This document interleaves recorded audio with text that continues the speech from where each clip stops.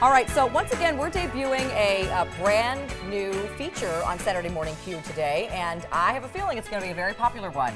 Um, this is a feature called Ask the Experts, and we're very proud of all of the expertise that we have here at QVC, not only among the host team, but where we learn a lot of our things are from expert guests like you, Marc. Thank you. So, uh, Marc is an expert in um, electronics. That's um, right. So, computers, televisions, cameras, all of that stuff, which I'm not. I'm very low tech. Yeah, that's so, good. Oh, I try to break down the geek speak into street speak. I told I like Marc, to I said, let's let's talk like you're talking to both me and my husband, who's a total techie. So that's Sure. what we're going to do today. Great. So we've asked you earlier in the show to send in your questions to our special page on QVC.com on our Facebook page.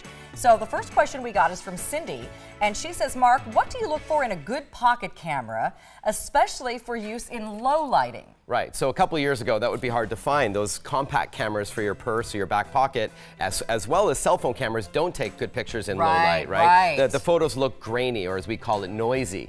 Uh, uh, but you, there are times where you don't want to use a flash because you can get a washed out look, or you know, uh, get that creepy red eye out of your Or pets just and your kids. it's obnoxious to have a flash going off at the true. dining table in a nice restaurant. It can ruin the ruin the moment. Yeah. Good point. So what do you do? Well, uh, you I used to recommend buying those big uh, SLR or single lens reflex cameras you sometimes see hanging on a lanyard around someone's Right. neck. Right. But now there's a new category in between point and shoot cameras, the little guys, and the big DSLRs. The the category is usually called a mirrorless interchangeable lens camera. So Okay. that's that's a great uh, pick because you have best of both worlds. You have Okay. the size that you want for I believe uh, the caller asked about uh, a small pocket camera, camera. a pocket camera, yet you get the performance of a big SLR. Okay. So that way you'll get good lo- low light performance because it has a bigger sensor, a faster processor, and the ability to swap lenses. and I'm imagining a better price tag than a big DSLR. Yes, absolutely. So, um, so a great suggestion. Thank you so much Great. again for your expertise. Um, we will be hearing more from Marc, answering more of your questions throughout this Saturday morning Q show.